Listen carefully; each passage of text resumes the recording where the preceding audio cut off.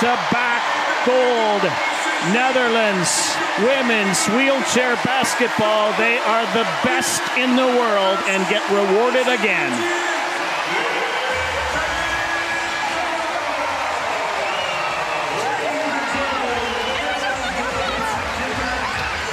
Unbelievable performance by the Netherlands.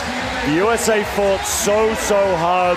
They had such an incredible opening to this game.